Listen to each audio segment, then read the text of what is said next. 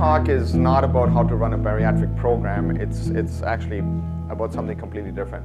Uh, it's about how do you do bariatric care now, or how do you do obesity management in primary care settings where you don't have the resources that you know tertiary care uh, bariatric center has. Uh, so what I'll be talking about is the five A's of obesity management. I'll tell you a little bit about how they came about and what they're for and what the intention is and, uh, and, and, and, how to use them in your practice. Uh, but I just want to uh, you know, start off by talking about sort of my own you know, journey into bariatrics. So my training is not in bariatrics. Uh, actually, the, there's almost no doctors that I know of who were actually trained in bariatric medicine. It's only very recently, for the last couple of years, that you can now in the US take a board exam in obesity medicine. Uh, and uh, that, but that's a very recent development, and I haven't taken that exam because I'll probably fail it. So uh, it is something that most people, most physicians are not trained for. Uh, and we don't learn much about it, so, which is a problem when you're trying to deal with patients who you know, have this issue. Um, I mean, just to do the, uh, the quick experiment, if, if I were to ask you, so, so, so who's in the room? I mean, we got any dietitians here? All right, lots of dietitians, good. Nurses? Okay, doctors? A couple of them, great. Uh, psychology? Welcome. We've got the odd psychologist. Um, not the odd psychologist, but the uh, uh, pharmacists, social workers, OTs, PTs, recreational therapists? No. Uh, any, any kinesiologist, exercise physiologist? Nope. Okay. But we've got a pretty, pretty mixed crowd here, which is, which is great because it does take all of these people and all of these professions in trying to deal with obesity. Uh, and, and you know, those of you already doing this know why, and those of you who are not will hopefully know why by the time we get to the end of the talk. Uh, but, but here's the thing. So you guys all went to whatever schools you went to. And so I'm quite sure if I asked you the question, uh, how does the body regulate blood sugar, uh, you probably remember. Like how does the body do this? How does the body try to manage keeping your blood sugars at you know 6.5 or whatever it is? How does it do that? Hormonal regulation. What hormone? Insulin, glucagon. Does anybody remember what glucagon actually does? Yeah, it does something, right? Liver and whatnot. Yeah, yeah whatever. But no, the point is, if you went back to a textbook and you open up that page on how the body regulates glucose, it'll all come back to you. You'll, you'll remember, oh, there's beta cells and there's alpha cells and then there's all kinds of stuff. Uh, if I asked you, how does the body do calcium, especially calcium, I mean, you all know that calcium is very tightly controlled, right? So how does the body manage to keep calcium levels constant, but, but you know, but, but a consumer precision. How does the body do that? What's involved? Again, we got a couple of hormones there. What are the hormones? Parathyroid. What else? Calcitonin. What else? Vitamin D. Anybody remember how vitamin D works? Like what? It's got sunlight and skin and kidneys and stuff happens.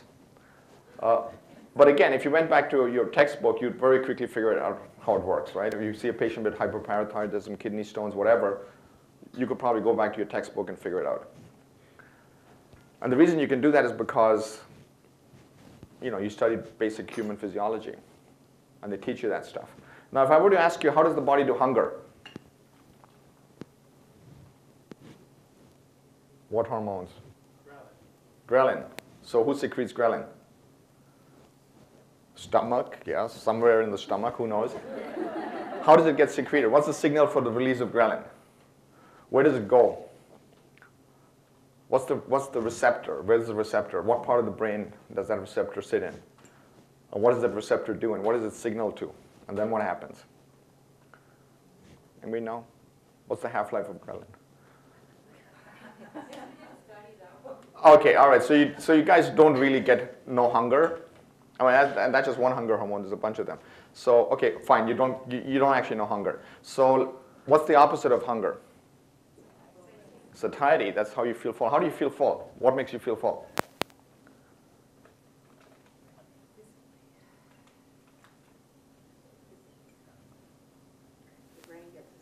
The brain gets a signal, yeah. What signal?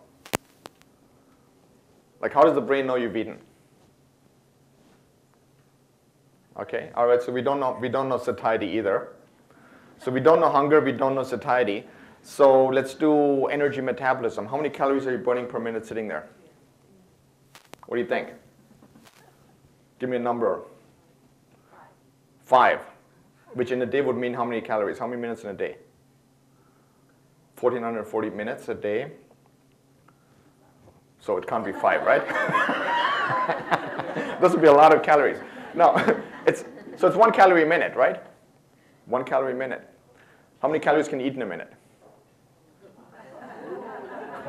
All right, that's why you can never out-exercise a poor diet. But the, uh, the point I'm trying to make here is that we, all of us, did not learn even the basic physiology of hunger, appetite, energy metabolism, energy balance. We learn none of that stuff in physiology. We're still not teaching this stuff, okay? And so we don't understand the physiology, but we're trying to deal with a health problem that is largely driven because of this physiology. And, and we think of calcium as being tightly regulated, right? Uh, forget calcium. Do you know how many calories you eat in a year? What's your annual caloric intake? If you just do the math, 2,000 calories a day, 350 days a year, 700,000 calories, right? Almost a million calories a year. What's the average weight gain per year? A pound, maybe, not even, for most people. Right? That's less than 3,500 calories, which means you can, you're eating 700,000 calories a year, and one day you're eating, I don't know what, next day you're eating nothing, one day you're running a marathon, next day you're not, uh, then you go on a cruise ship, then you go to, I don't know, then you have Thanksgiving dinners and potlucks and whatnot. And somehow, you can make it to the end of the year, and you're off by what, 3,000 calories. What percentage of your total calor annual caloric intake is that? It's less than 0.5%. Right? Which means that despite of all these changes and variations in your food intake, and one day you're dieting, next day you're not dieting, you somehow make it through that entire year with 99.5% precision without actually having to think about what it is that you're doing. And that's pretty amazing. There's almost nothing in your body that's as tightly regulated as energy balance. Your body just does this. And it does this through a pretty complex system, which we have a fair understanding of how it works, but it is pretty intricate. So we still don't understand the details, but we do have pretty good ideas about how the body does it. But the bottom line is energy balance is tightly regulated like you wouldn't believe it. The body's got all kinds of ways to regulate uh, and, and, and really keep, keep your body weight constant. And even in somebody who's gaining weight quite rapidly, even someone who's gaining 5 pounds or 10 pounds, that system is off by what, 1%? So even in that person, the system is working with 99% precision. Now, the reason that I'm saying this is not just because we don't have the physiology of how this works, but what I want to really emphasize is that is the system that you're messing with when you try to help someone manage their weight. That is a complex system. And that system is going to do what it does. And trying to get that system to do something else is not easy. And so this is not an easy problem to deal with. So as we start thinking about how do we actually, you know, think about helping people manage their weight, uh, in reality, most people don't need help because their body already does it. But when you get in and try to do, when you try to change what they eat or try to get them to exercise or try to, you know, change energy balance, what you're always going to be up against is the body responding and trying to defend their, their, their body weight. And that's key to understanding. See, people do not fail at weight management because they don't have motivation. No, they try hard and they try very hard, right? But in the end, the body is going to win. It's going to get those calories back. It's going to get that weight back. And that's why most people fail. And, that's, and you need to understand that that's what you're up against. So that is a little bit of a preamble to get you guys all excited about how, how interesting this stuff is.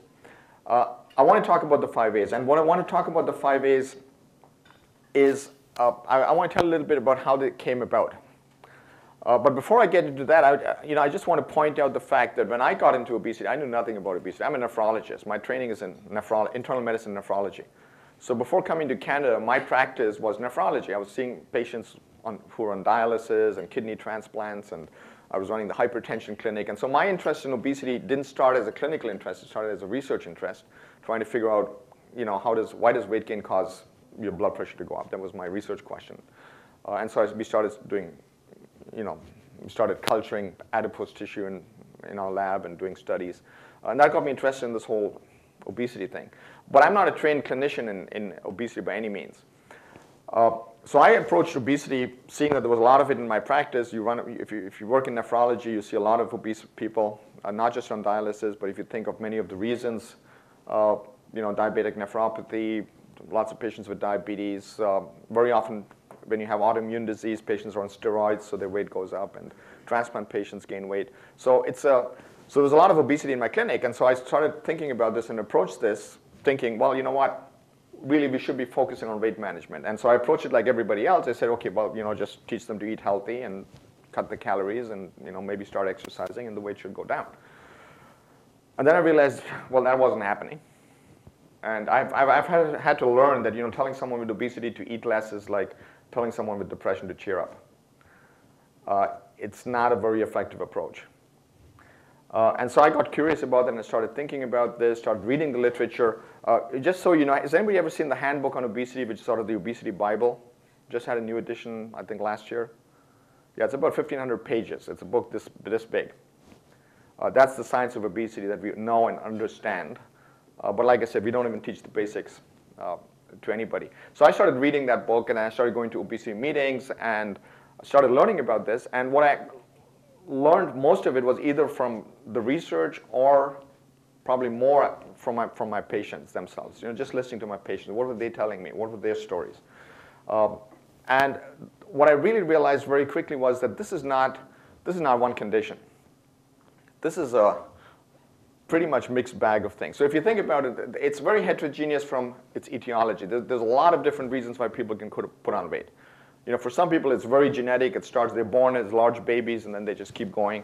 Uh, for some people, you know, it could be when they hit puberty, suddenly they put on weight. Lots of people will tell you, you know, I never had a weight problem until I was, I don't know, you know, 23, or until I went to college, or until I got married, or until I moved to Kingston, or whatever.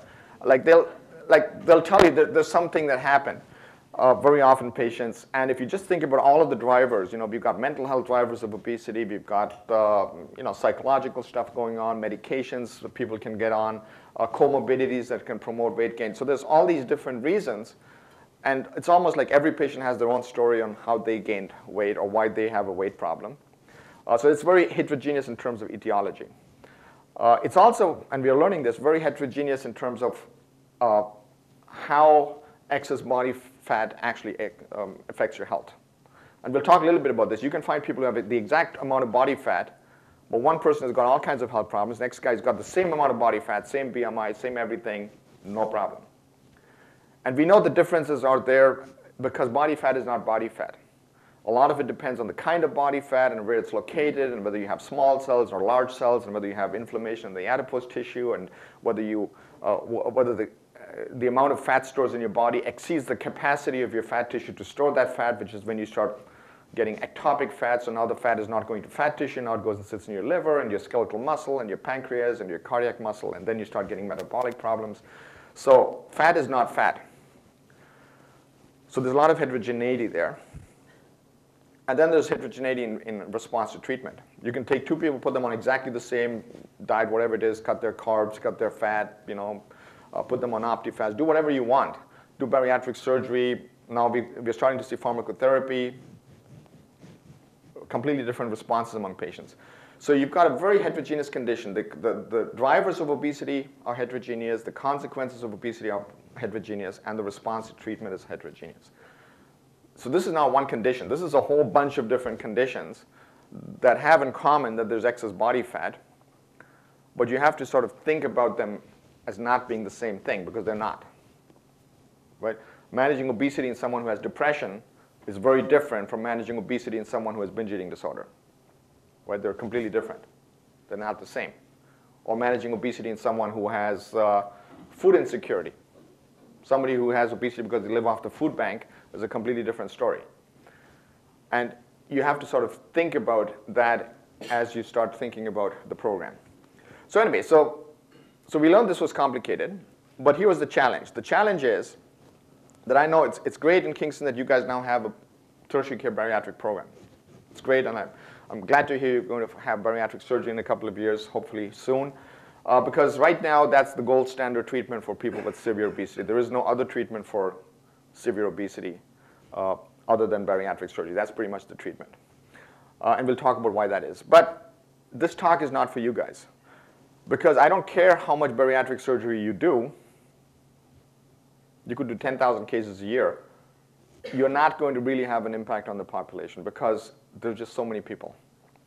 I think there's probably 200,000 people living in Ontario right now who would have the indication for bariatric surgery. You're not going to operate on all those guys. Even if you wanted to, it wouldn't happen.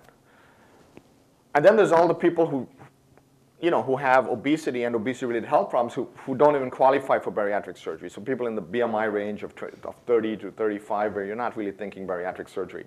But that's a lot of people.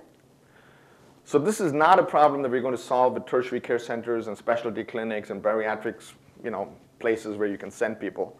Uh, this has to be primary care. We will only be able to address obesity at the population level if we get our act together in prevention and if we start treating obesity wherever we see it, and that's in primary care. Right now, not much is happening in primary care with obesity. It gets mentioned, right? So the most common encounter, so there's actually research in Canada that shows this, that in an in a encounter, when an obese person has an encounter with any health professional, their weight only comes up in about, in less than 20% of those encounters.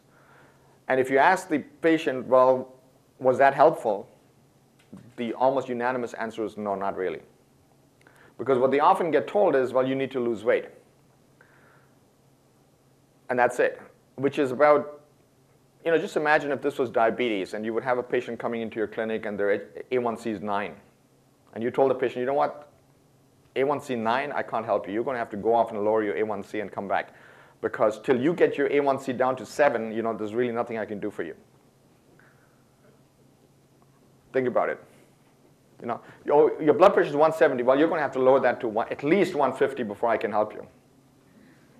Right? I, nothing I can do here. Uh, what can I do? Well, you could try cutting the salt. How about that? You know, maybe start some exercise program. You know, maybe learn about sugar, right? Get those. So, what we we would never do that. But you would never send a patient away and ask them to lower to get their A1C down or their blood pressure down, or you know, you got to lower that that cholesterol.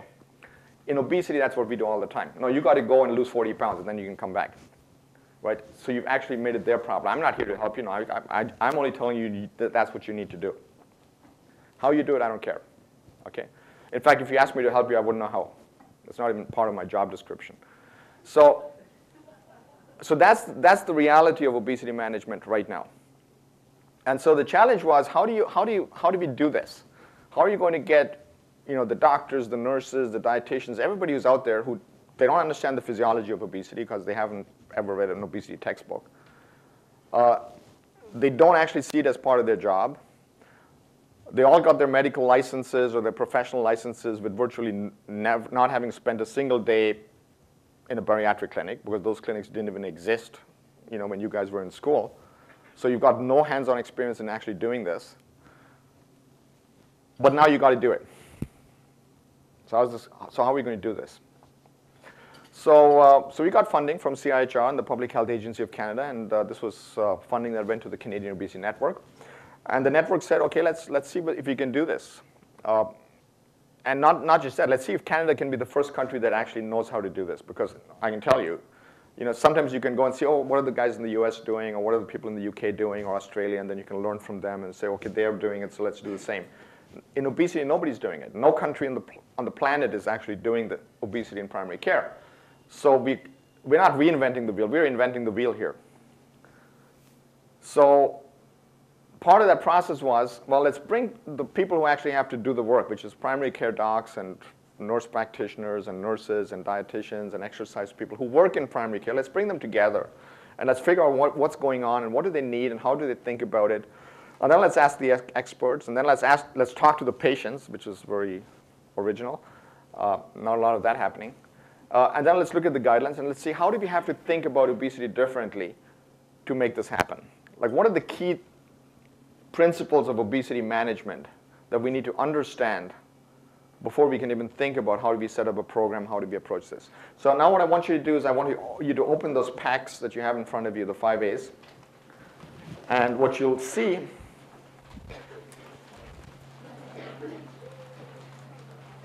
is a couple of things. And what I want you to take out is this little brochure here.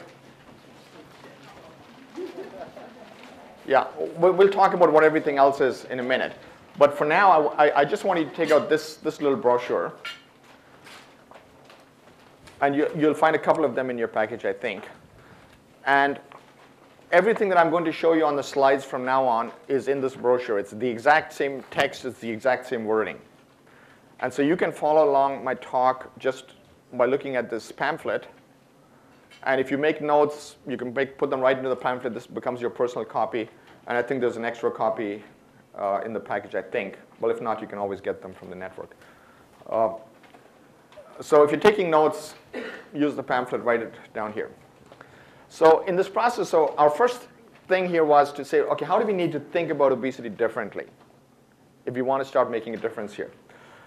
And so, I'm, so, so we call these the five principles of obesity management. They're not the five A's, they're the five principles. And the first one, and this is absolutely, you know, this is the one that is probably one of the most important ones here is obesity is a chronic condition. What does that mean? What defines a chronic condition? It's long term. It's, it's a condition for which we do not have a cure. And I can tell you that we don't have a cure for obesity. I've been doing this for a while now. I've met a lot of people who've lost weight. I've met a lot of people who've lost weight and are keeping it off. Not a single one of them is cured. I've never met anybody whose obesity has been cured. Because if you ask anybody who's lost weight, what are you doing to keep the weight off? They're all doing something. Uh, they do a lot of different things. Right? They're counting calories. They've cut the carbs, they've cut the fat. They're keeping food records. They're exercising. They're doing something every single day. The minute they stop doing what they're doing, that weight's coming back. The more weight you lose, the more this is a struggle. Even for bariatric surgery patients, I mean, you could have bariatric surgery and lose 100 pounds and keep them off for 100 years, or for 10 years or whatever. If you went back to your surgeon and got this, say, hey, doctor surgeon, can you unstaple my stomach? Guess what happens? Boom, the weight's right back. Right? This is a lifelong condition for which we have no cure. And that's sad. You walk through that door with cancer, any kind of cancer, there's a 50% chance that we'll cure you. Right? You'll, you'll have to go through chemo and you might, you might end up having a bone marrow transplant or you know, whatever. At the end of the day, there's a 50% chance that you can leave here with your cancer in remission. Not just in remission, it'll probably go away and might never come back. That does not happen in obesity. We got better cures for cancer than for obesity. Right now, we don't have a single thing that will cure your obesity. Once obese, always obese. You can, now you can be tr uh, treated you could be somebody with obesity who's treated, or you could be someone with obesity who's not treated, but you're going to have obesity for the rest of your life. Right? You are going to be an obesity patient if you want. It's not a, it's not a, it's not a happy message. And we can get into the details. We don't have time for that this morning, talking about why this is a permanent problem and it happens. I'll be happy to take questions. But believe me, there's no cure for your obesity. We got treatments not great treatments. But whatever the treatment is, you're going to be done this for life. And the day you stop, that weight's coming back. And this has a huge important consequences for how you think about obesity. Because when you think about how am I going to address this problem, how am, I go, how, how am I going to set up a program for managing obesity in my patients? You have to understand this because what you're really talking about is setting up a chronic disease management program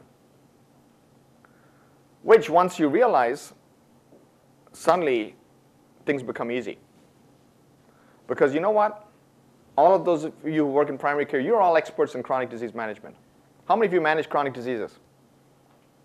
We all do. Diabetes, hypertension, heart failure, COPD, musculoskeletal problems, whatever. I mean, there's a million chronic diseases out there. And the, and the nice thing is that we know how to do chronic disease.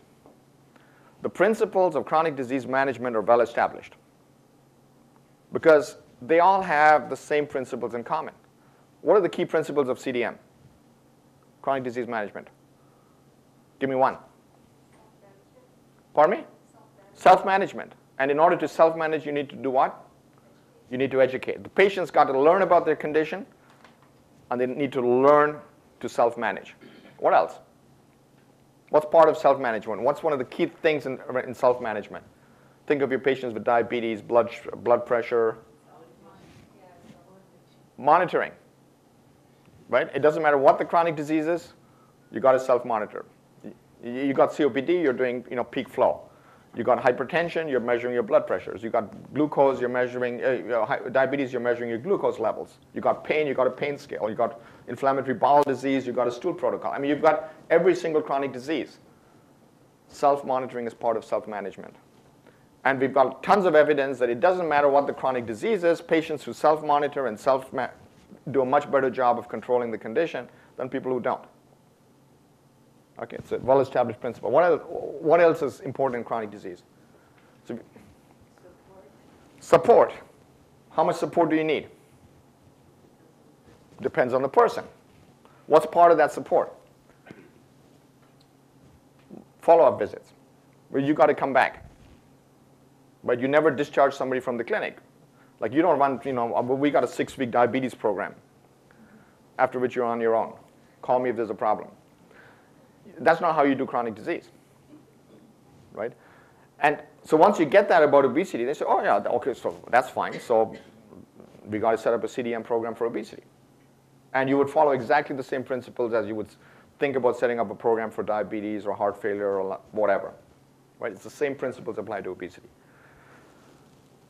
So it's a chronic disease.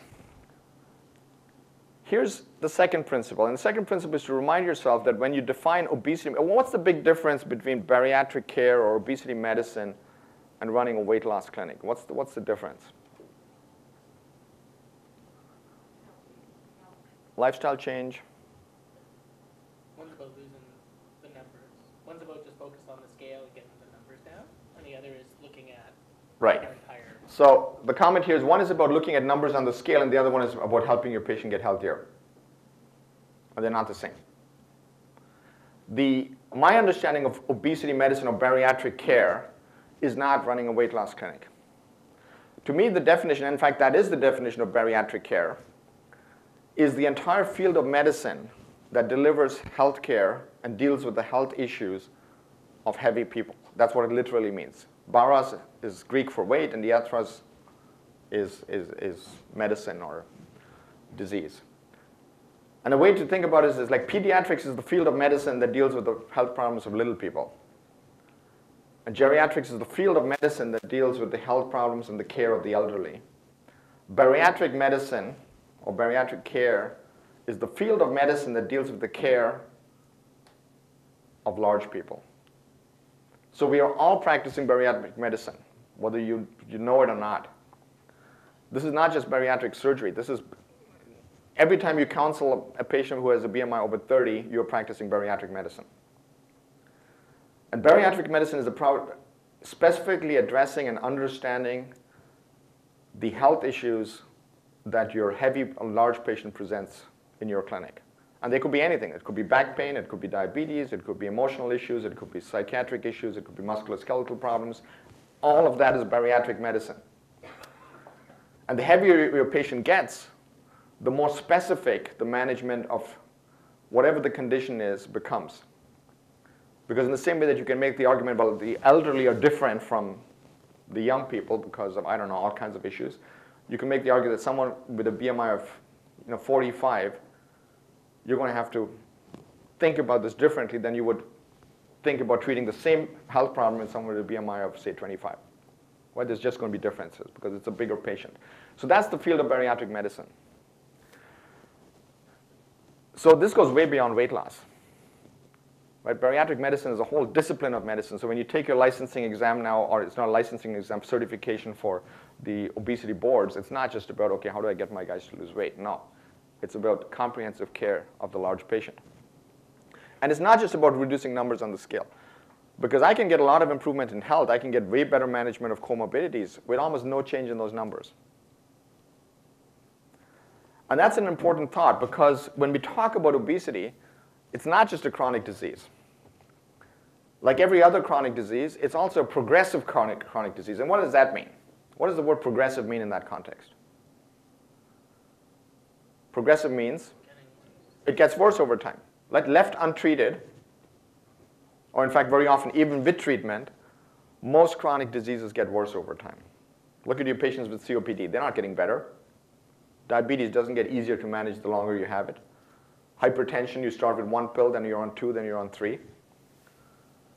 All chronic diseases tend to progress. And so does obesity. Left untreated, this problem is not going away. This is, if anything, it'll get worse. So when you think about addressing a chronic disease, what's your first goal in someone who has a chronic disease? Whatever that is, it's, it's, it's chronic kidney failure, it's, it's, you know, it's heart failure, it's any chronic disease. What's your first goal? Yep. Prevent it from getting worse. Right? So if I have a patient coming in and you know their creatinine is 300, I want to keep it at 300. I don't want them to going off and needing dialysis. And if I can slow the progression of that loss of kidney function, that, that's good. So if you think about this in obesity, so let's, let's imagine you've, so you're the family doc, you see this patient, this guy comes in every year for his physical. Every, every year you see him for the last 10 years, they come back and they're up five pounds. So for the last 10 years, this guy has gained 50 pounds every year. Now if you can get in there and say, you know what, enough is enough. We're going to work together here. We're going to try to figure out what's driving the weight gain and let's try to address this. And these are a few things you can do. And somehow you manage to get this patient across the next 12 months with only a two and a half pound weight gain. Do you think that's going to be easy? You think that patient is going to have to make some changes? You think you're going to have to spend some time figuring out what the problem is? Oh, yeah. But if you do all of that and you can actually get the patient across the next 12 months with only a two and a half pound weight gain, you cut progression in half. And if now for the next 10 years this patient only gains two and a half pounds every year, you've prevented a 25 pound weight gain in this patient. And I can tell you that's not easy. In fact, I can tell you how difficult this is. If I, if I challenge all of you right now that I'm going to come back to Kingston in 10 years, and I want all of you showing up on a sunny morning like this with exactly the same weight that you have today and the exact same amount of body fat and the exact same body composition. How many of you think you can do this? Well, we got one guy here who's the. Yeah, there's always an optimist.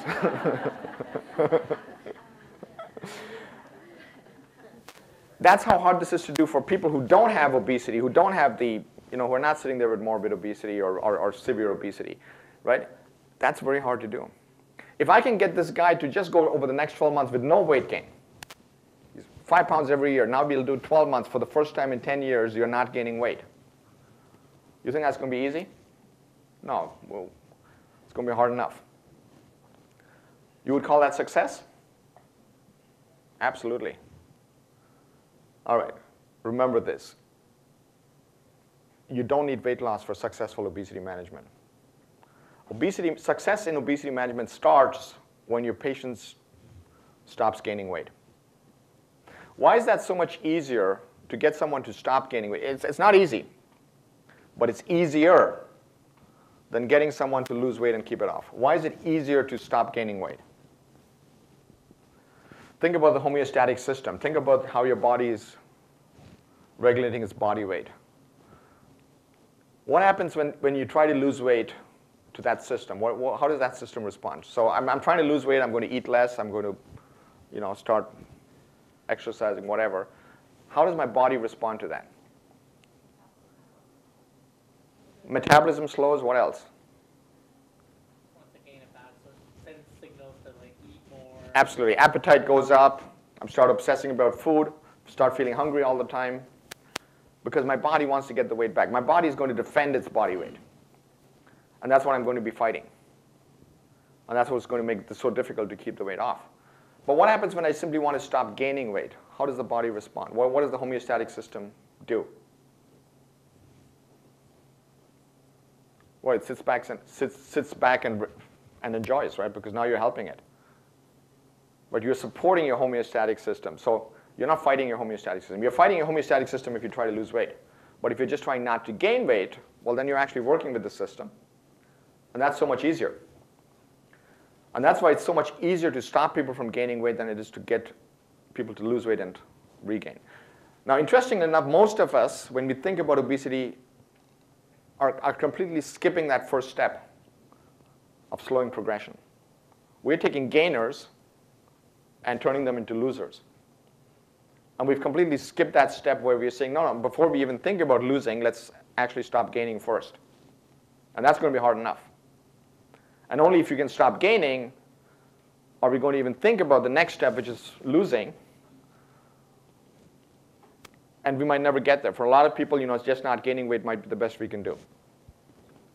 So that's a different way of thinking about this. And my ultimate goal is here is not about those numbers on the scale. It's about thinking about can we make you healthier. That's what obesity medicine is about. In the end, you want a healthier patient who's happier, who has a better quality of life. I don't care what happens to those numbers. And that brings us to the next question. Well, if you're not going to define success by based on what the numbers on the scale are, and if the goal of the program is to improve the health and well-being of your patient, then how do you know whether your program is working? Well, when you improve the health and well-being of your patient. So to know whether your program is actually working, what do you need to be measuring? Health and well-being. Right? Because that can really, because you can take patients you know, who come to your program, you work with them, they stop gaining weight, they change their diet, they're sleeping better, they feel better, you've got a good control of their comorbidities, they've met with the OT and they've learned how to better do their acts of daily living, their quality of life can go here. And they can feel better. And they can be so much healthier. No change in those numbers. That weight's the same. Or maybe it's down five pounds, who knows, who cares? Right? That's not your objective. So in your minds, you have to be very clear about, am I running a weight loss clinic where I'm going to be focusing on those numbers, where we're going to set weight goals and where we're going to try to you know, get the weight down? Or am I, going to, am I running an obesity clinic and am I doing obesity medicine here where I take a much more holistic approach and say, okay, what, what can we do for this patient to improve their health? It's, it's, it's a different mindset. And the success that is going to be, well, are they getting healthier? Now, the problem here is that not every patient has the same health problems. So whose HbA1c is going to get better? What's going to happen to the person whose A1C is 5.6? Nothing. It's going to be 5.6, or it'll be 5.4, or 5.5, who knows. What's going to happen is, so whose A1C is going to get better? Hopefully. Well, the person has a high A1C. Whose blood pressure is going to get better? People who have hypertension. Whose uh, sleep apnea is going to get better? People who have sleep apnea. But whose liver is going to get better? Well, the guys who have sleep, fatty liver. So not every patient has all these problems. So to know whether your specific patient is actually getting better, you need to first define what is the health problem in this patient? Or what is the aspect of this patient's health and well-being that we're actually trying to improve here? And your measure of success is going to be, well, has that improved? Which means you need to define what those goals are. If, if your goal of obesity management is to improve someone's A1C, well, you'll know if it's working if their A1C gets better. Right? If your goal for obesity management is we're doing this so that we reduce your, I don't know, your, your, your, uh, uh, your fatty liver. Well, when you improve their fatty liver, you know the program is working. The numbers on the scale might not tell you that. Because you could be losing weight and nothing's getting better, or something might be getting worse. On the other hand, you might lose nothing on the scale, but everything is getting better. Right? So I need you to forget about the numbers on the scale, which doesn't mean don't weigh people. We'll get back to that in a second. But you've got to really think carefully about you. how are you going to define success in your clinic? Like, what's this about? Are you running a weight loss center? or are you running an obesity management program? They're different. And here's the last principle. A lot of us are still, how many of you have BMI charts hanging in your offices? In a place where patients can actually see the BMI charts? Yeah, don't do that. It's not helpful. It doesn't help anybody. Because the whole concept of BMI, you know, especially, especially now when you have those charts where, you know, where so the, the, the lower BMI range is green and then it becomes yellow and then it becomes red and then becomes dark red and then it's black at the top, meaning you're basically dead. Does not help anybody. It's not a motivator. In fact, if anything, it's the opposite. So I can see, oh, my BMI is 45. I need to be 25, but I can go shoot myself, right? That's not going to happen. Not even with bariatric surgery am I going to get down to that weight. So why, why, tell, why even tell me? And it's not, even, it's not even necessary because all of the data that we have shows that I don't need to get someone from BMI 45 to 25 before they're healthy. I can get someone from BMI 45 to 40 and they could be pretty healthy. Right? So, so, so why set 25 as a goal? It's, it's nonsense, right? Those numbers don't even, they're not even real. Right? There's not even data to support that 25 is where you have to bring everybody to. So the weight, so I'm not interested in that as a goal. What I'm interested in my patients is or what we call their best weight. This is the best weight that you can be at given your circumstances. Now that's not a weight that I can look up on any kind of table. Like there's no best weight table, so if you're old and male and whatever, then this is your best weight. Now I don't know that. It's a very individual weight because it depends on your situation. It depends on what you can do. And that's going to vary. It's going to vary on everything. It's going to vary on motivation. It's going to vary on, on, on what comorbidities you have, what medications you have on, what's the driver of weight gain in the first place. It depends, you know, you're working shifts, well, then you're going to struggle. Right? If you're a shift worker, it's going to be much more harder for you to manage your, your weight than for someone who doesn't do shifts. Right? So as long as you're going to continue doing shift work, your, your best weight is here. Now, if you get out of shifts, maybe your best weight can go down here. But as long as you're going to work shifts, it's going to be here. Right? As long as you have your depression, your best weight is here. Now, if you can get good handle on your depression, maybe we can shift this down. But if you don't, then it's going to be here. Well, you got chronic pain. Well, if you don't get control of the pain, well, then this is, this is your best weight. Right? So it's something that is highly individual and dependent. And, and, and usually you'll know that someone is beyond their, their best weight when the things they're doing to control their weight are most likely not sustainable. See, people can do crazy stuff to lose weight. But most of that is not sustainable. Is this how you want to live for the rest of your life? Well, if not, then this is not your best weight. But it might be your best weight for right now, for like the next couple of days, but it's not your best weight. Okay? So best weight changes, and you find out what someone's best weight is by actually getting there and you know, making a clinical judgment on, you know, can you do more, can you not? Sometimes you have to back off. So you have a patient who's struggling who's lost 40 pounds and is struggling to keep the 40 pounds of every single days of struggle, well, if you ease off and say, okay, you know what? Let's just try keeping 20 pounds off, suddenly that becomes very realistic. Right? Suddenly this patient does fine. And so telling patients, oh, well, that's okay.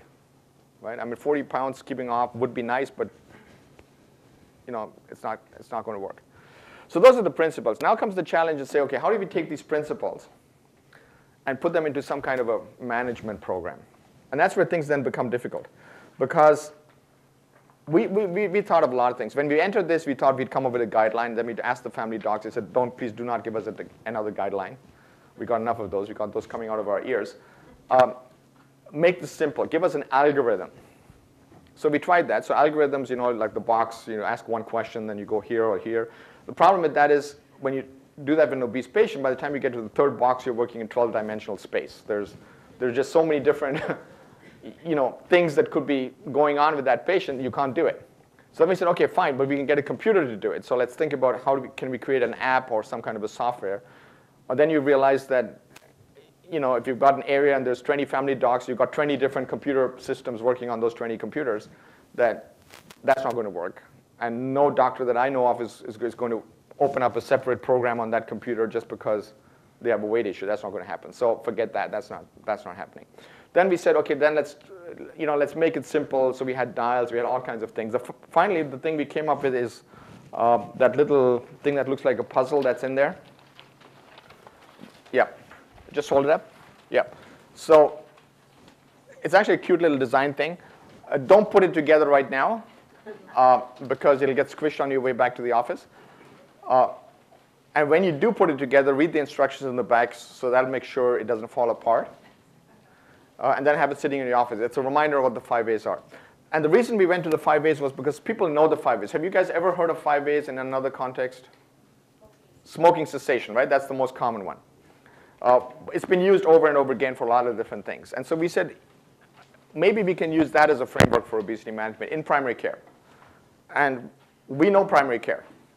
Right? These were people from primary care who worked on this team.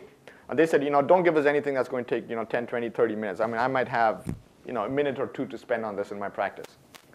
Uh, so this has got to be really simple. So let's break it down. And so I'm going to take you through the five A's step at a time. Normally I do this as a four-hour workshop. So we're just going to sort of skim the surface, talk about each of the points, but we will not going to have time to get into each of the A's in depth because that's a whole textbook, each one of them. But this whole thing starts off with the first ask. Now, in, in, in smoking cessation, the ask is, do you smoke? Don't ask people, do you think you're fat? It's not a good way to start the conversation. Uh, it's also not helpful asking patients, do, do you want to lose weight? Because I can tell you everybody wants to lose weight. The skinny people want to lose weight. So that's not a good way to start the conversation either. What we heard from patient was, uh, patients was that this is a sensitive issue. And so we decided that we would make the ask all about recognizing that this is not an easy topic. So we made this ask for permission to discuss weight. And how do you do this? So we're not going to go through all the details, but here's the key message. The first one is, in your communication with your patient, don't threaten, don't blame, and don't provoke guilt. Why? Because anybody who knows anything about behavioral management tells you negative emotions are not a good driver of behavior change. They're not a lasting driver of behavior change. I can get some, I can, I can frighten people into doing something, but then they'll do it for a while, and then they'll fall back. You want positive motivators. Guilt is not a positive motivator. Being afraid is not a positive motivator. In fact, in many cases, you know, if I'm an emotional eater, it's negative emotions that make me eat. I leave your practice, and I'm not feeling too good about myself, what you, what's my next stop? Right? I mean, you've just contributed to the problem. So it's not helpful. And you've got to be non-judgmental. We're not here to judge our patients. Right? I don't care how this happened. It happened. Let's deal with it. Let's figure out why. And this is not about being good, good or bad, or uh, it's, it's, it's not about any of that. It's about trying to figure out what the problem is and trying to help the patient fix it or give support. The second point here is don't make judgments because judgments are always based on assumptions. And I can tell you that assumptions about obese people, they're all very stereotypical, but most of them are wrong. In fact, when you go to the literature, they're wrong. Who's the highest consumer of pop in, in Ontario high schools? Who drinks the most pop? It's the skinny teenage boy. It's not the fat kid. It's the skinny kid that drinks the most pop. When we do look at the data from the, uh, from the Canadian Community Health uh, Measurement Survey, where they've actually measured physical activity of Canadians, what, how big do you think is the difference between physical activity of the skinny kids and the, and the obese kids? Or for that matter, the skinny adult and the obese adult? What do you think is the difference in daily physical activity? If you measure minutes spent in moderate to vigorous physical activity. Measured. This is not report, self-reported. This is actually measured using Excel. What do you think the difference is? Zero. They're exact same. Exact same. So if your argument is, well, fat people are getting fat because they drink too much pop, eat too much fast food, and never move, you're completely wrong. Because for every fat person who does that, I will show you a skinny person who does, who, whose lifestyle is even worse. Right? It just does not hold true. But all of the epidemiological studies that we have we're still debating, do fat people actually eat too much? We don't know, and they probably don't. Because when a large person is eating more calories, well, that's not overeating. That's how much a larger body needs more calories. So they're actually eating the amount of calories they need. They're not overeating. So all of the assumptions that you make about people, thinking, oh, there's a fat guy, he probably is stuffing his face with fast food all day and never gets off the couch, is nonsense. These are people who eat as healthy or as unhealthy as everybody else. These are people who have as much physical activity as everybody else. These are people who have jobs, who go out and work. In fact, when you think about physical activity, which often comes up,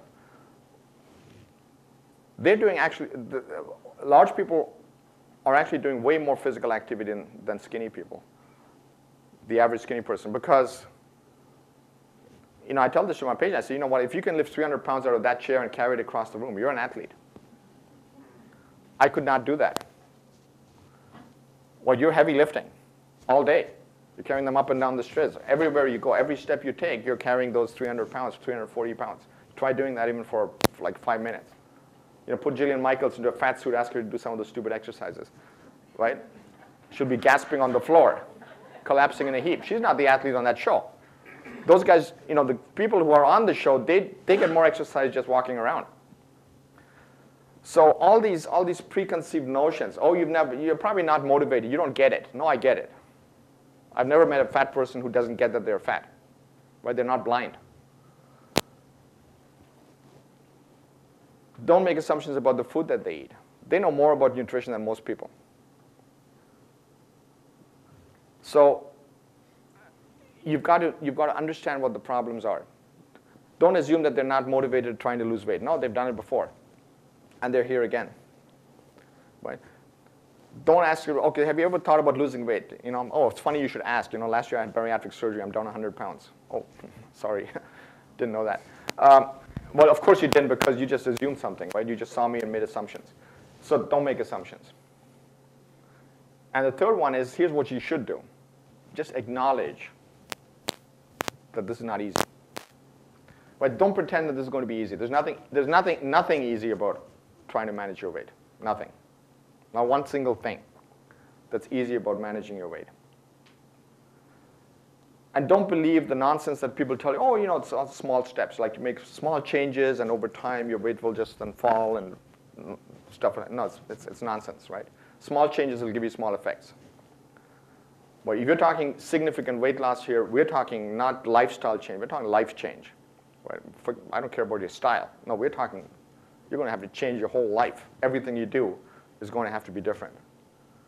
Right? Disease management for you is going to be changing everything. But you might have to change your friends, you might have to give up your relationships, you might have to find a new job. Right? You might have to sell your car and start riding a bike. I don't know. It's going to be big.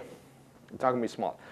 The only thing about the small changes, to get to the big changes, you start with small steps, but they have to be incremental. If you make a small change and then stick with the small change, nothing's going to happen. But They have to be, you start small, but then once you get this, you go to the next step, and then you keep adding on. And ultimately, the goal has to be, you're going to be, you know, in five years, your life is going to be very different from the life that you're leading right now. Because if it's not, then, then this is not going to work. Okay? So don't pretend that this is easy. This is, there's nothing easy. And also remember this. Everything I'm going to ask you to do is going to be stuff that is not natural behavior. In fact, some might say it's not healthy behavior.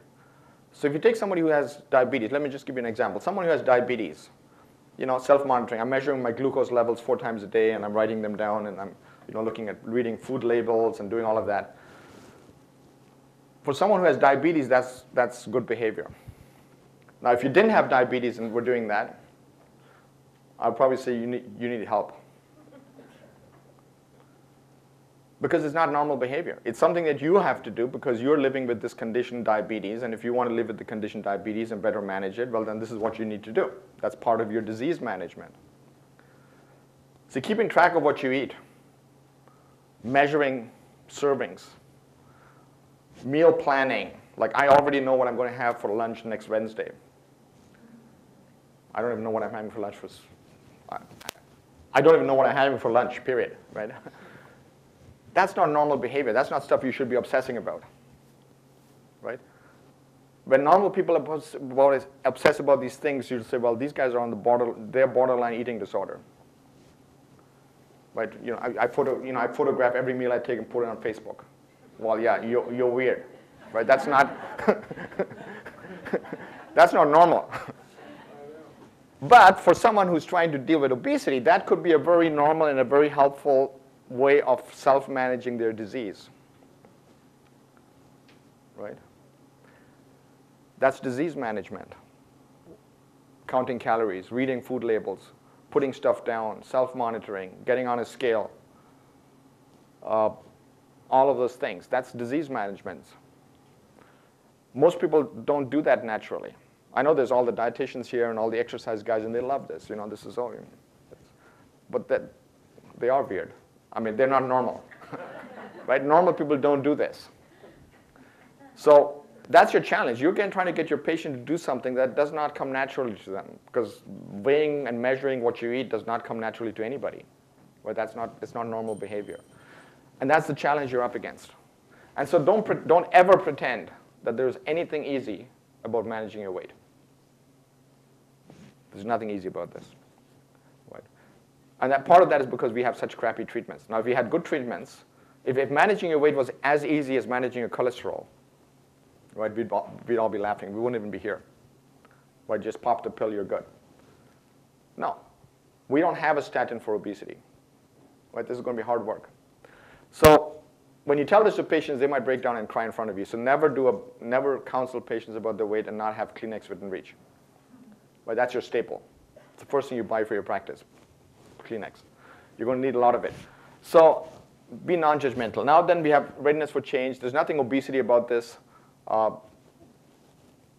you've got to be ready for anything. Like this is not obesity. Motivational interviewing is not obesity. A lot of people think, oh, you know, we, I can't do obesity because I don't have time for motivational interviewing. A, you, you need to find time for motivational interviewing, and you need to be doing this in your entire practice with everything. This is not obesity. There's not one thing that makes motivational interviewing more important for obesity than for anything else. Right? So it's a helpful technique to have. Uh, I fought hard to keep this out of the guide. There were people on the panel who said, no, we got to put it in. Okay, so here it is. But there's nothing about this that's specific for obesity at all how do you start the conversation? People don't like the term obesity. They don't like the term fat, but they do accept the term weight and size. Have you always been large? Ways to, ways to start the conversation. You can demonstrate that, you, that the patient has come to the right place simply by the, having the right equipment available. Like if I walk into a place and there's no place for me to sit, I don't think I've come to the right place. I think you know, you know, he may be a good doctor, but apparently he never sees patients like me because he doesn't even have a place for me to sit. He doesn't even have a scale for me to step on. He doesn't even have a blood pressure cuff. So maybe I'm not in the right place. So you want to demonstrate right off the bat. I walk the, I, I, I walk into the waiting room and right away I can see, wow, look at this. You know, he, he's been waiting for me, and he sees people like me. Right? It's, it's such an important signal to give to your patients. Okay, so that's the ask. What, what comes after the ask? Now, in, in smoking cessation, what comes after the ask? Do you smoke? Yes. Advice. And what's the advice? You got to stop smoking, right? That's the advice. Don't ever do that in obesity. The, the most consistent thing that I think we heard from our patients was do not give me advice before you know what the problem is. Because any, any advice you give me before you know what the problem is is based on assumptions. Right? So we had to flip the assess and the advice. So the ask is, you know, are you concerned about your weight? Is this something you're, if the patient says yes, then you say, okay, great. So why don't we do some assessments? And for those of you in primary care, this does not all happen at one visit. No, I just need to start the conversation. So, you know, did, you know, are you concerned about your weight? Is that something you want to talk about? He says, yes, okay, great. I don't have time today. Why don't we make another appointment you come back? Or I'm going to send you to, to the nurse practitioner. She's going to ask you a bunch of questions or whatever. Okay. Uh, you got to do the assess first. So here's the assess. What are you looking for in the assess? So there's, there's three things you want to answer. So when I teach residents about this now, I say, when you go into the room and you're doing an obesity consult, here's what you need to come out, the, come out of the room with. you got to answer three questions. Why do you think this guy has a weight problem? How do you think their weight is affecting their health and well-being? And what are you going to do about it? What's your treatment plan? Your assessment has to lead you to those three answers. That's what the assessment is about. So obviously, you start with the simple stuff, uh, BMI. Now, BMI, we measure BMI, and it's important to record BMI. I've been talking about why that's important, but it's not important in talking to the patient. Why this is information that you need for your chart. If I came to your clinic and asked you, okay, so how's, you know, how's diabetes management going in your patients with BMI 40? Well, you don't know if you're not if you don't have BMI 40 in the chart because only if you have the BMIs in the chart can you actually go back to your charts, find all the guys with BMIs 40 who also have diabetes, and then look at them and tell me how they are. So as a way of quality control and knowing who your patients are and being able to identify them and find them, you need to have BMIs. If the BMIs in your, in your, in, if I say, you know, can you find the people who had an increase in BMI by three, po- uh, BMI by three points in the last four years? Well, you won't be able to find them if you didn't have BMIs in your chart. If you wanted to focus on the fast gainers, well, how do you find those guys? So that's why you need BMIs, but you don't need BMIs talking to patients. Because BMI does not really tell you much about people. It's, it's basically it's, it's, it's size, right? This is like a clothing size. And what you could do is you could just recording people's clothing size in your, in your, in your chart. So, oh, you're a size 14, uh, you got to go see a doctor.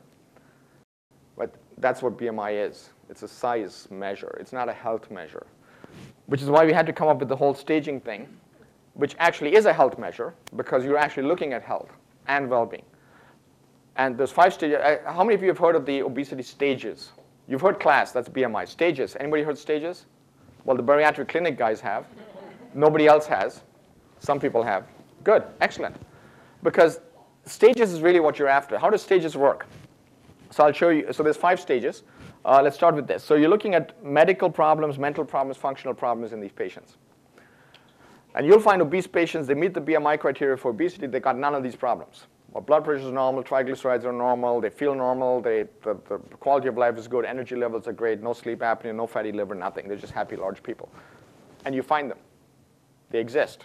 Even at a BMI of 50, if you look hard enough, you'll find them. With, with increasing BMI, they get harder and harder to find, but they exist. Okay? So, I mean, I can ask you, what's the health and the quality of life of a sumo wrestler? Pretty good, right? So they exist. They are there, but they're not, you know, as, as BMI gets higher, they become more difficult to find, but they do exist. That's stage zero. Then stage one are people who are not, they're not normal, but they're not enough to label them with a disease, right? So their liver function test slightly elevated. Maybe they got some heartburn. It's not quite reflux, or, or it's occasional reflux. Maybe they snore, but it's not quite sleep apnea yet. Maybe it's pre-diabetes, pre-hypertension, that kind of stuff. So it's not normal, but it's not, it's not enough to make a diagnosis and start them on a treatment. That's, that's stage one. Stage two, now they have a comorbidity. And I don't care what the comorbidity is. This could be reflux disease, it could be fatty liver disease, diabetes, hypertension, osteoarthritis, whatever, right? That's stage two. You've got a comorbidity. And not just one. You could have several of them because very often they cluster. Stage three is now you've got clinically relevant end organ damage from that comorbidity. Right? Now, it's not just sort of having the risk factor, but now you actually have uh, symptomatic end organ damage and that can go on to end stage. So just to give you an example of how this works, if you take, uh, take diabetes, for example, you can have normal glucose tolerance, normal fasting blood sugars, that's a zero. Pre-diabetes, impaired fasting glucose, that's a one. Diabetes, that's a two. Retinopathy, that's a three. Gone blind, that's a four. Okay, you can do the same thing with hypertension, you can do this with liver disease, you can do whatever comorbidity you want. Now this tells you how sick your patient is. And the interesting thing is that there's almost no correlation between how big your patient is and how sick your patient is. And we've actually shown this in a large study that we published in CMAJ two years ago, where we looked at a large, uh, sort of a, the, the, US version of the community health survey, so what they called the NHANES study, uh, large data set. We've got prospective follow-up data on these guys for about 20 years. 200 months. This, is not, uh, this slide is not in your, in your pamphlet. What you see here plotted are the different BMI classes. So class 1 obesity, class 2, class 3. In fact, we've even included overweight people. That's BMI 25 to 30. And what you see there are survival curves going over 200 months. So when you look at those curves, you can say, well, they all look the same. If you call me and say, hey, Dr. Sharma, I got some guy here, his BMI is 35. How many days does he have to live? I don't know. Could be anything. Uh, that's not enough information. When you take the same people and you look at their baseline stage, very different. The blue line that you see here are stage three patients. What does stage three mean? End organ damage. Right? These, are these are obese people who, the first day you see them, already have signs of end organ damage. They're not doing well. Those guys are dying off, which you would expect because end organ damage could be coronary artery disease, could be diabetic nephropathy.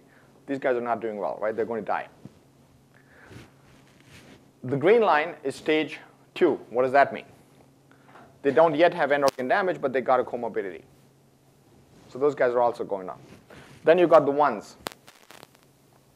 They have risk factors, but not yet a comorbidity. Then look at the blacks. The black guys are going 20 years. They got 2% mortality in 20 years.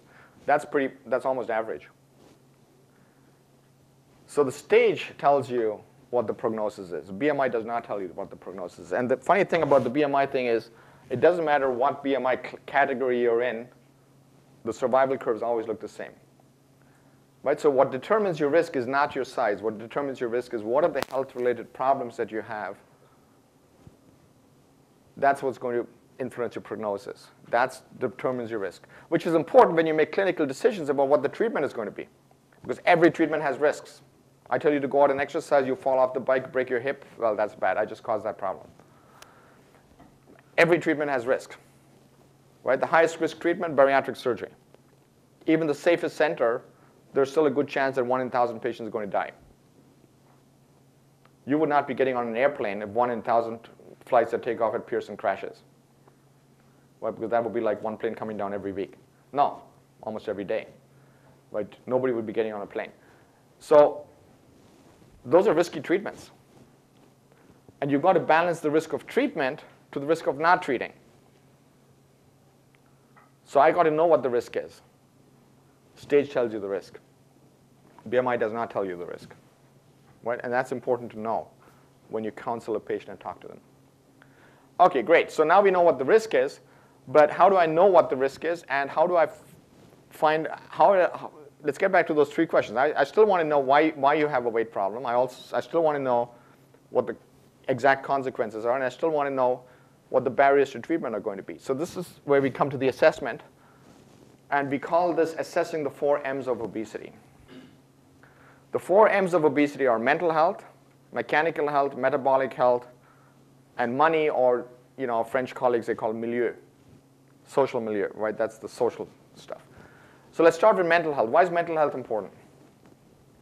And should be part of every obesity assessment because every single mental health problem that I can think of can either promote weight gain, some of them can be consequences of weight gain.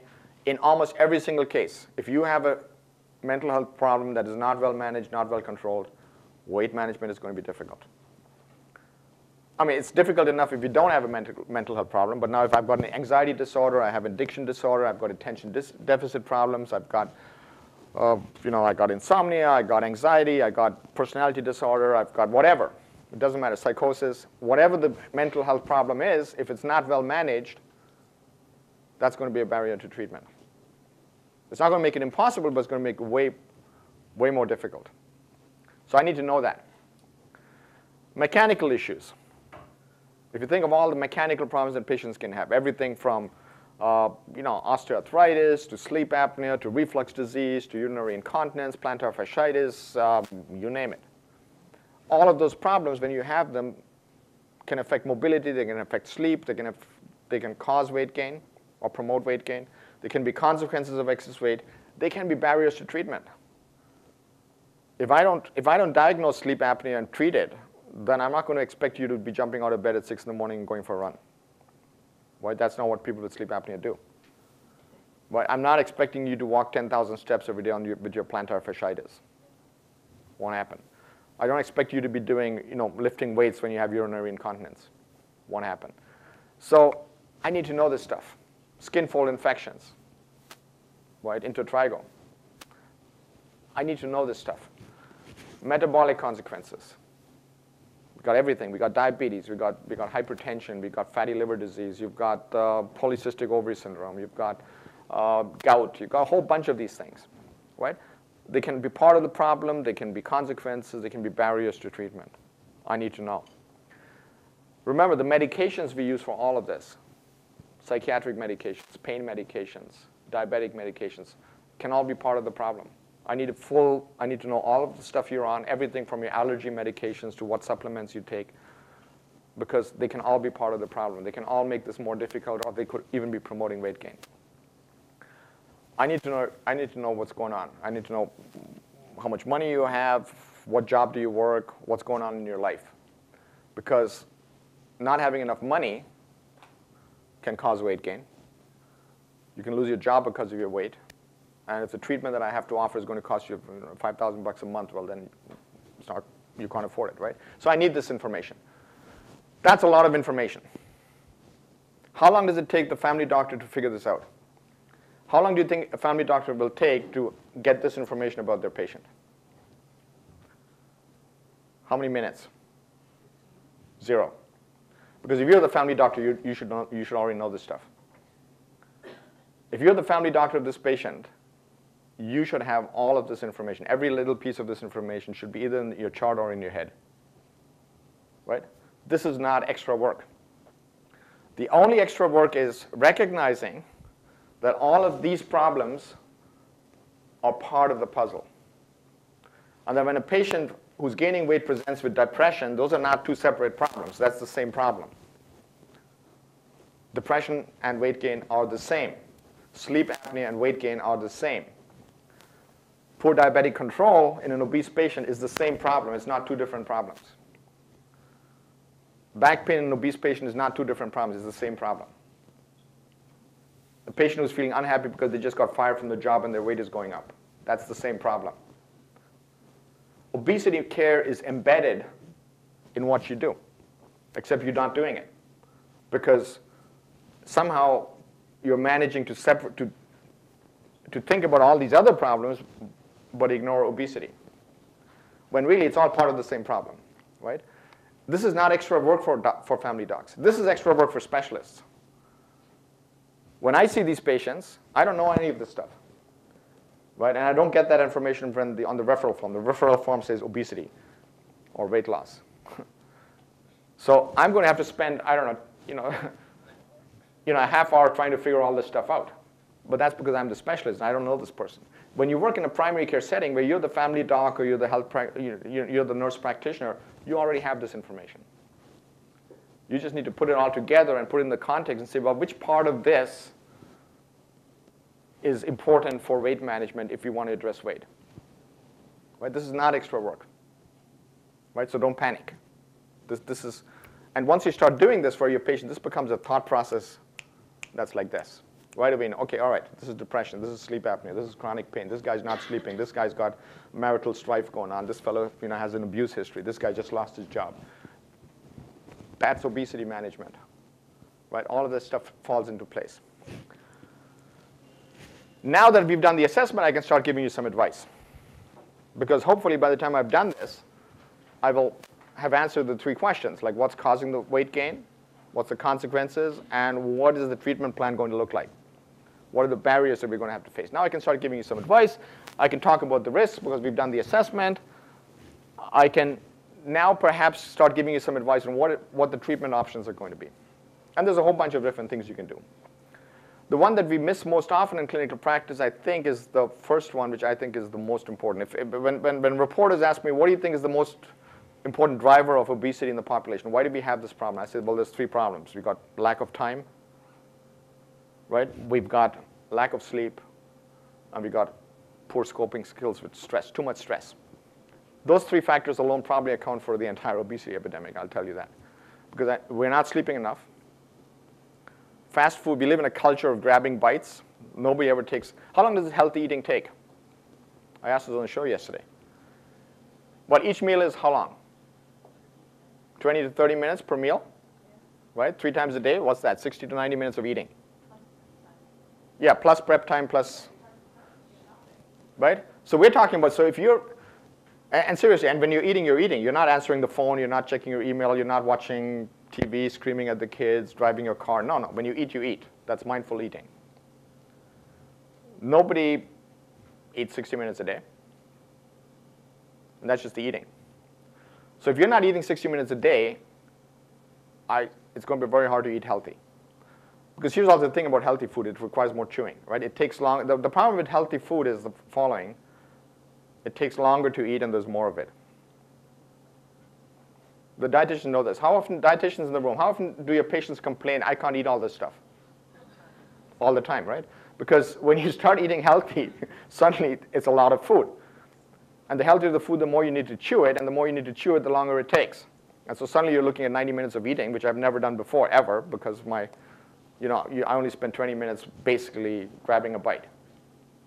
Even 20 minutes. If you, if you actually stand with a stopwatch between a lot of people, you'll find there's a lot of people out there, they don't even spend 20 minutes eating a day. That's every meal, grabbing bites. So if you add exercise into this or physical activity, well, that's another hour. And please do not take any of this time from your sleep because you're already not getting enough sleep. You need seven to nine hours of sleep. So now already you have a time problem, right? You can't do this because you don't simply don't have time. If you want bariatric surgery, you're looking at two hours of eating every day not including prep time and planning and everything else. Right? So you don't have time to be skinny. This is not going to work for you. Till we find the time. Right? And so way before I get into you know, you know, food diaries and stuff, I need to, I need to figure out where your 24 hours a day going and where in these 24 hours are you going to carve out the three hours that you're going to need to do this. And please do not take that time from your sleep. Well, the first thing you realize is I can't do this. Like I'm going to have to start giving up stuff that I'm doing. Or I'm going to have to take the kids out of soccer because I don't have the time. I mean, I can't. That's where all the time goes, right? You know, just just driving the kids around or whatever. I don't know. In Kingston, maybe you walk. I don't know. But um, uh, so so that's that that's that's a tough exercise. Now, who's the who's the professional who's actually trained to help you with this? Well, the OTs the OT, this is part of OT education is, is actually time management skills. How do I organize my life and do it in a way that things become more efficient? So OTs are pretty good at this. Sleep management, sleep hygiene, how are you sleeping? How many hours do you get? Stress management, coping skills. How are you dealing with stress? What is your main stress level? How are you dealing with this? You might not be able to change the stress, but you can change how you deal with it and how you cope with it classes for that. So this is all stuff that our patients learn. We have, we've got modules on all of this stuff. Every patient takes them because this is usually the first thing you have to do. And then we move on, and then we've got the dietary interventions. Well, that's when that's the first time I'll actually ask, "What do you have for breakfast?" Or, in fact, I won't even ask that question. We got dietitians for that, right? This is where the dietitians will come in, and then they'll figure this out and they'll do what they do. Physical activity. Here's the thing about physical activity. Physical activity is not about burning calories in obesity management. It's about it's, a, it's not about you know, working up an appetite. It's about ruining your appetite. Right? The role of physical, what happens with physical activity? When you get more physically active, first of all, you get a routine. That's helpful. And then you feel better. And then it relieves your stress. And your self-esteem improves. And you sleep better. And all of this hopefully improves your eating. Right? I don't need the chocolate anymore because now I'm getting my runner's high. Okay? So that's the role of physical activity in obesity management. If you just go and exercise trying to burn out those calories, it's not going to work, right? It has to have an overall impact on your health. And that's what physical activity is about.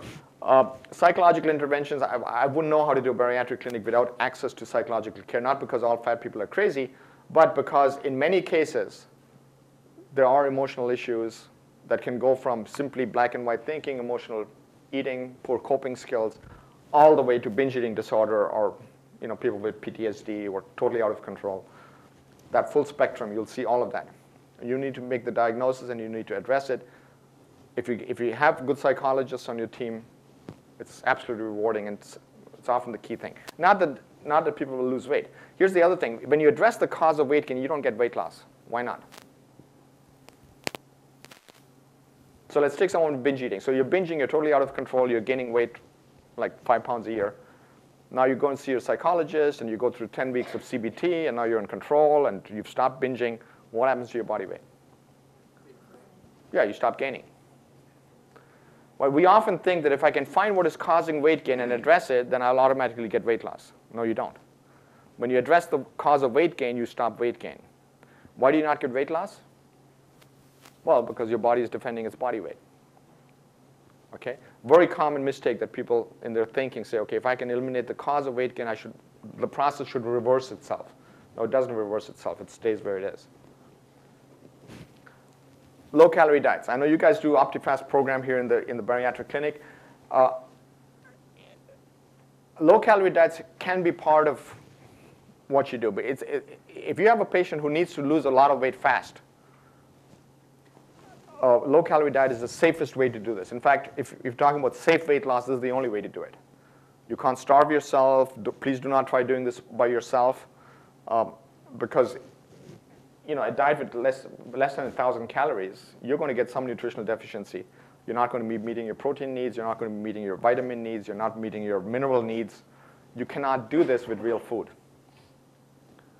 Dietitians can't do this with real food over months and months and months and months. Meal replacements, that's, that's what you need to do. They're not hard to do, but you need to know what you're doing. You need to know what to monitor in your patients because your patients, they can dehydrate, they can get gallstones, they can get all kinds of problems, constipation. You just need to know and you need to monitor patients. But it's the safest way to get quick weight loss.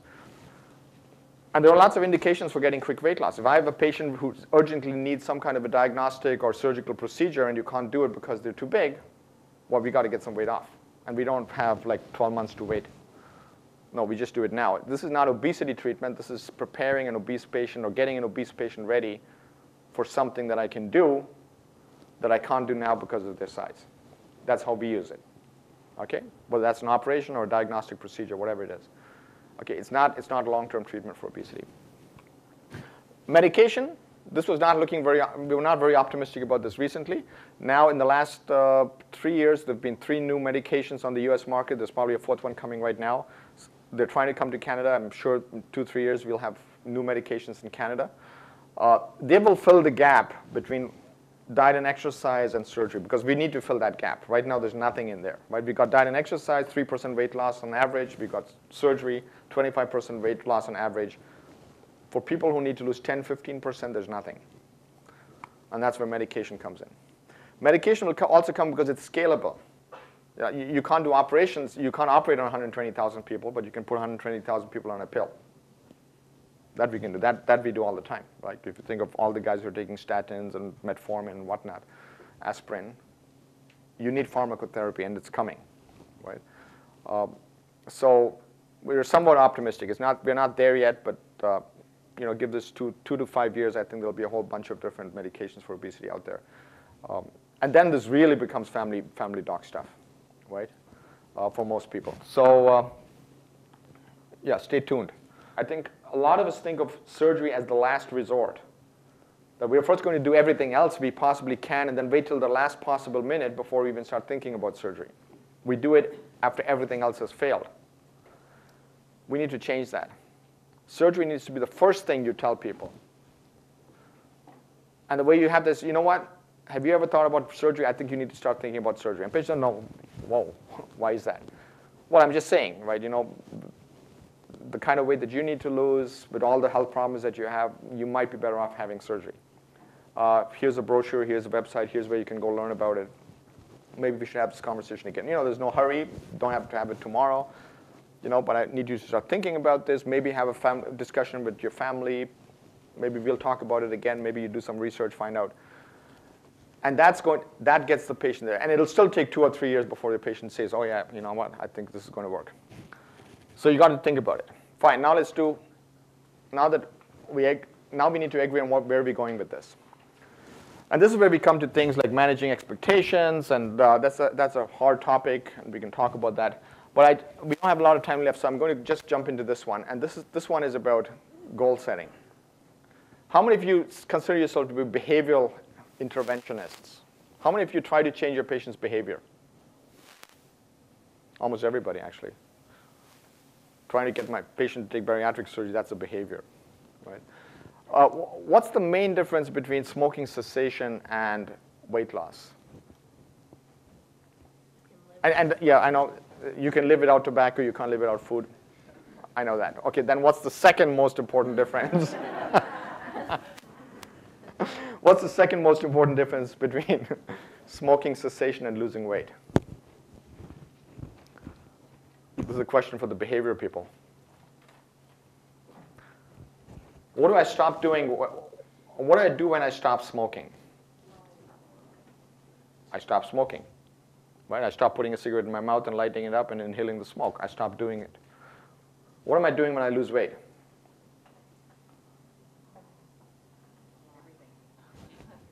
I don't know. Right? You can't actually lose weight. You can't lose weight. Lose weight is some, losing weight is something that happens. So It's not something you do. What is it that you can do? Well, you can start having breakfast. Now, if your goal is I want to, I want to start having breakfast, and I'm gonna and I now eat breakfast five times a week, and I feel great about it, I have successfully changed my behavior. Have I changed my weight? I don't know. Maybe yes, maybe no. I want to start. I want to get more active. I want to start exercising. My goal. I'm going to set the goal of going to the gym at least three times a week and spend one hour doing weights. And now, six months later, that's what I'm doing.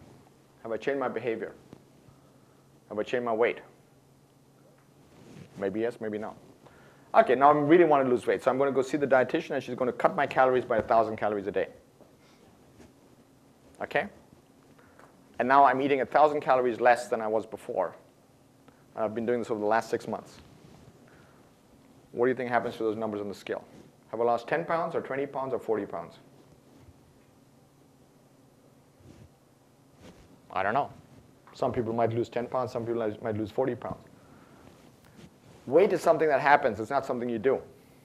Losing weight is not something you do.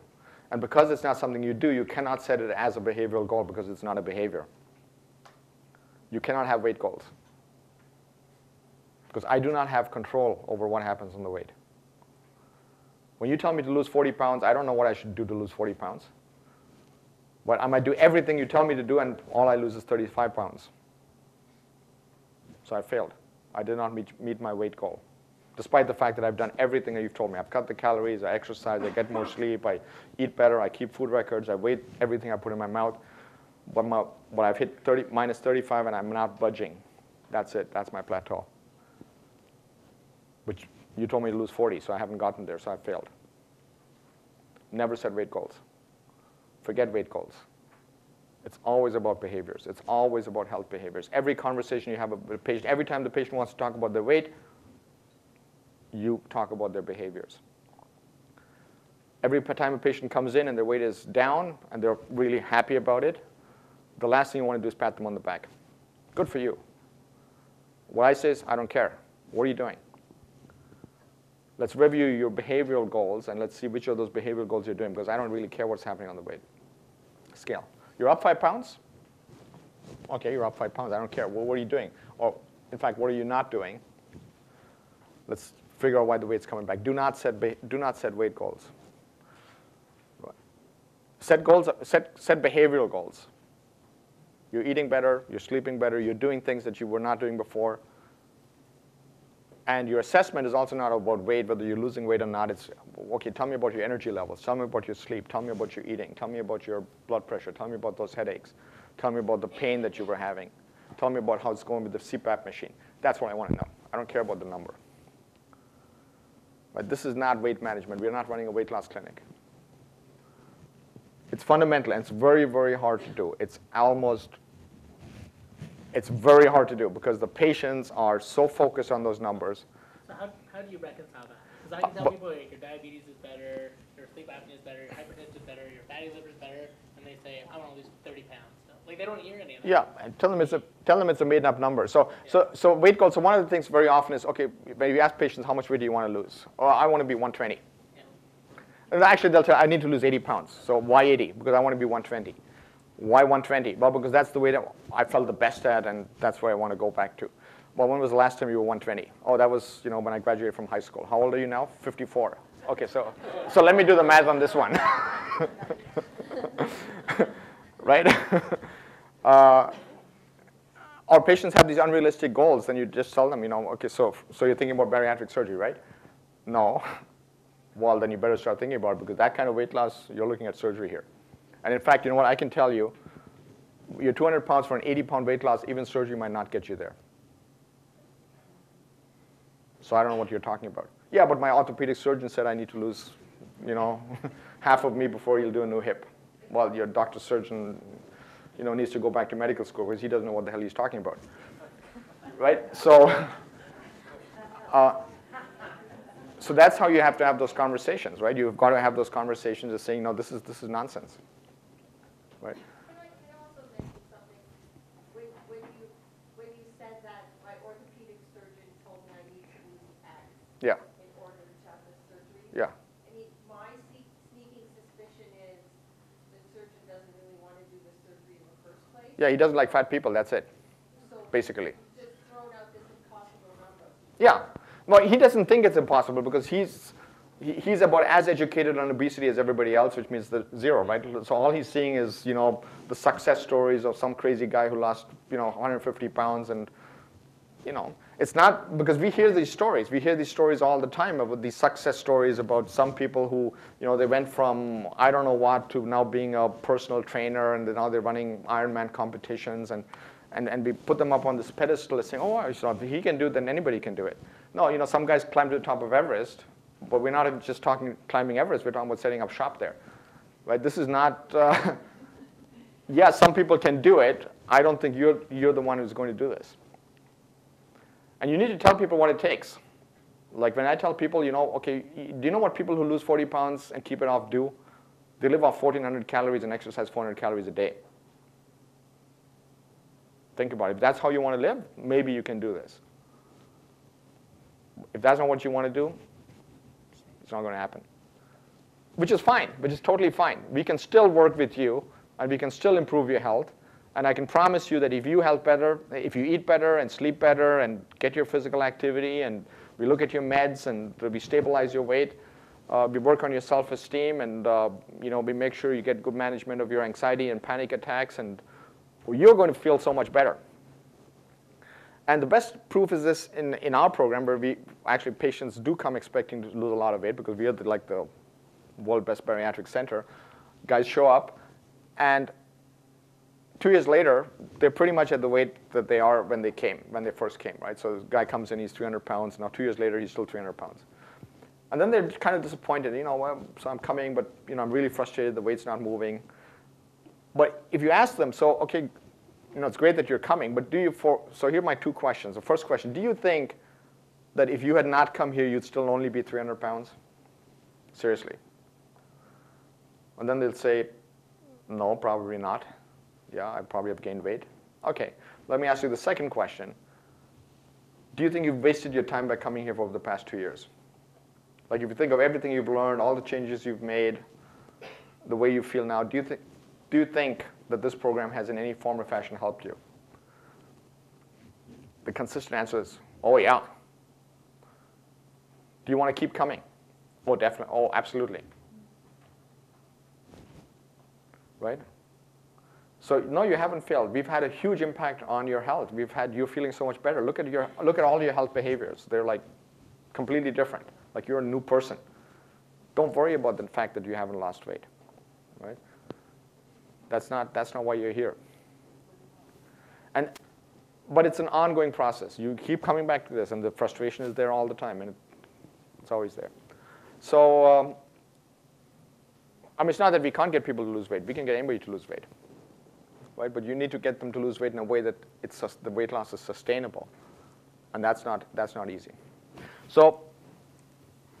Then we come to the last part, and that last part is sort of the assist part. So now that we know where we're going, we can do all the stuff we'll go back to those drivers, we'll try to address them, we'll change, see what's causing the problem, address the barriers, education, patient educational resources, right? Remember, this is all CDM, right? There's nothing mysterious about weight management. There's nothing about obesity management that's in any way different from managing any other chronic disease.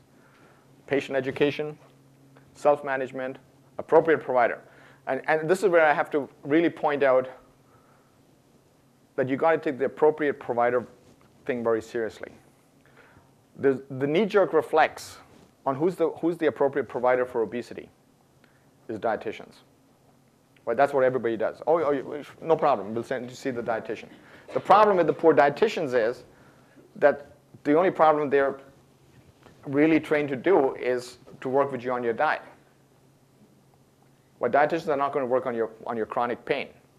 They're not going to work on your mental health issues. They can't even diagnose whether you have a anxiety disorder. I mean, they can think you might have one, but th- that's not their scope of practice, right? They can't do all these things that might be necessary to help you better manage your weight, right? It's not like here's a food plan.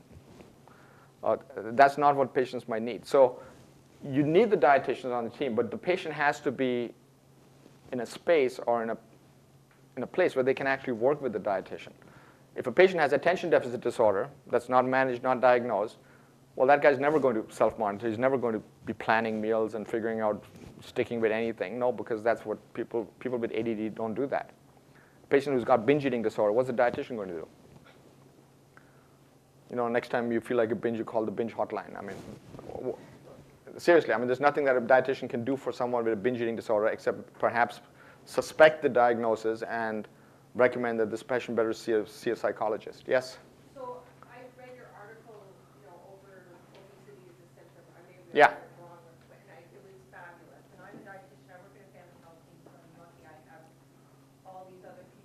Beautiful. Yep. Trying to set up a program to do that. So maybe you're gonna come up with this, you haven't finished your presentation, so I apologize, but is, so, um, I tried to take your article and I'm trying to make a screening tool, like usually I'm the first person to Right. see them. So now I'm more like the intake Mhm. person, right? I call it discovery, that first. So is there, like, there's the three-factor eating questionnaire. Sure. there's Another more Yep. complicated questionnaire. Do you, um, advocate using a screening Yeah. tool like that? Uh, so, so the, the three factor, uh, so there's a lot of screening tools on how, on eating behaviors, et cetera. Those are, for me, are very specialized instruments. Uh, you won't pull those out before you even get to the point to say, okay, now let's look at the diet. Uh, for me, the diet is sort of the third or fourth thing on the list of where we get to. When I'm talking about the assessment of the four M's, I, I've- I haven't gotten to the point yet where I'm going to talk about your specific diets or whatever. I guess I'm saying perhaps, let's say you're in a clinic and it's not the physician, and we don't have a nurse practitioner. Right. Who is, you know, so I'm, let's say, I'm the one who's doing it for it. Yeah, uh, which is great, but then you, what you'll find is that a lot of patients, you'll find some of those M's, and then you're kind of sitting there saying, well, what do I do with this? So then I have the people. Good, good, and, and that's how you can do it. Now, what you do with the dietary assessment and what dietary recommendations you give, that's your job, Yes. right?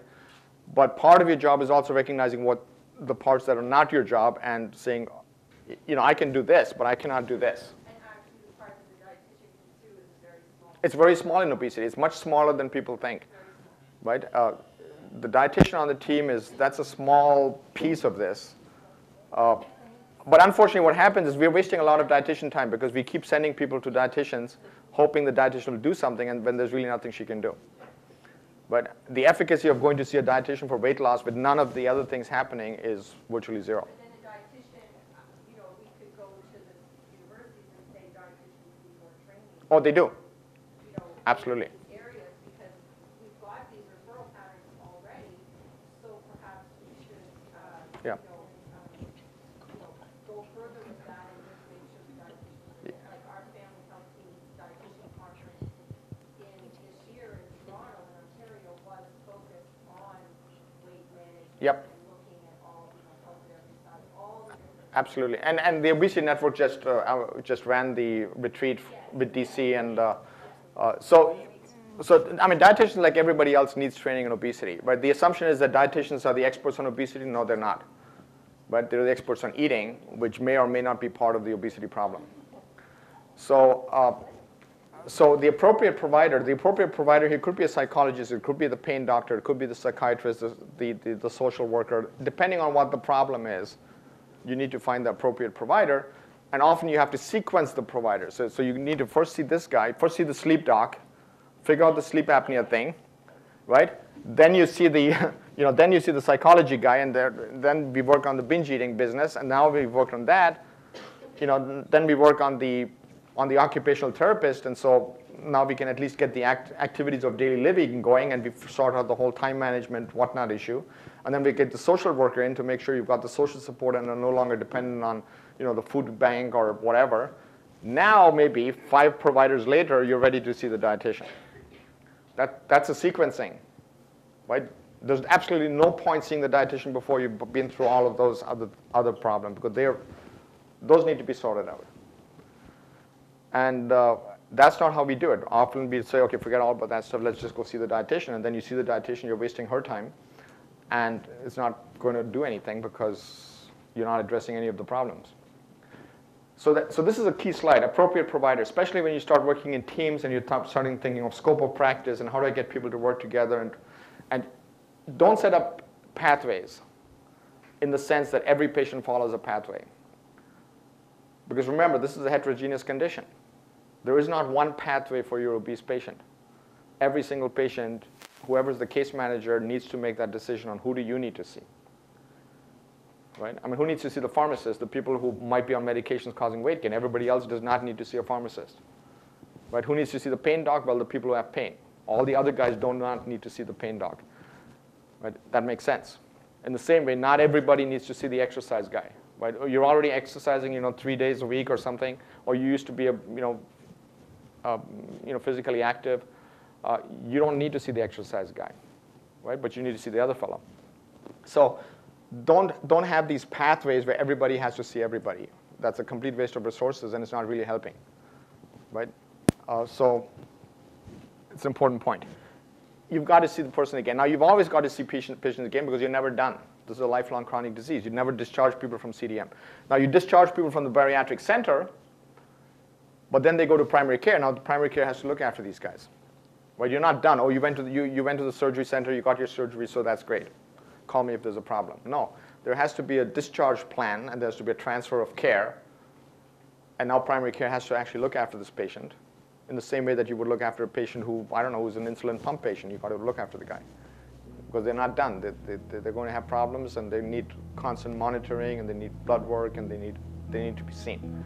So this is a circle, right? This CDM is a circle. It never stops. And that's really important to know when you're setting up programs. So don't set up 12-week programs or 16-week programs or something unless there's a plan. What happens at the end?